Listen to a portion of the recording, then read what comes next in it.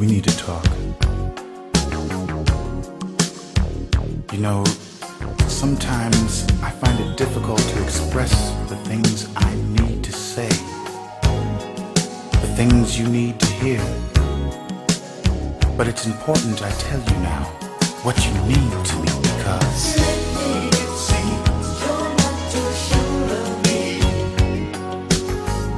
I've never needed